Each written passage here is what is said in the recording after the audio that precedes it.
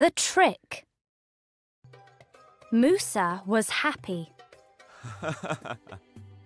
Hakan was going to sell him his horse Atik, the strongest and fastest horse in the village. Hmm.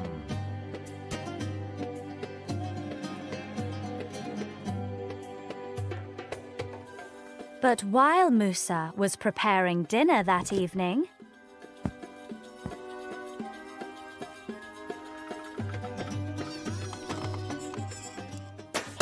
fell over and broke his leg. Hakan heard his cries and ran to help him. You need to go to hospital immediately, said Hakan.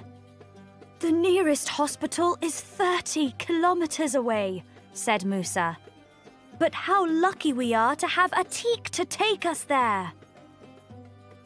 Hakan didn't know what to do. He was too embarrassed to tell Musa the truth. 30 kilometers isn't far, he thought. I'm sure Atik will be fine. He brought the horse to Musa's house and helped his friend onto the cart. Then they set off across the countryside to the hospital. At first, Atik ran quickly. It will be okay, thought Hakan. We will soon arrive at the hospital. But soon the horse started to slow down.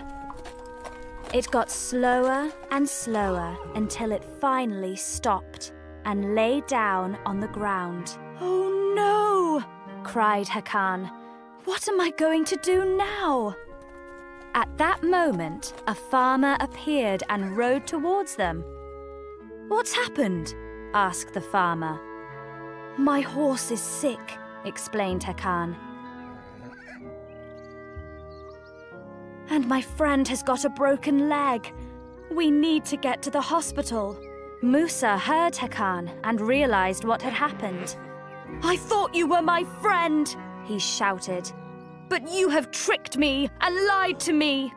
I never want to see you or speak to you again. You are not a kind man, said the farmer.